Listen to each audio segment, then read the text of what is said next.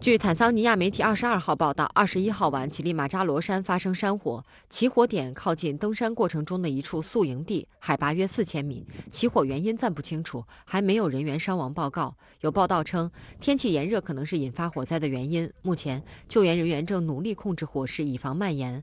乞力马扎罗山素有“非洲屋脊”之称，主峰最高海拔近五千九百米，是坦桑尼亚的重要旅游资源之一。二零二零年十月，乞力马扎罗山也曾发生过一次山火。火过火面积二十八平方公里，大量植被被毁。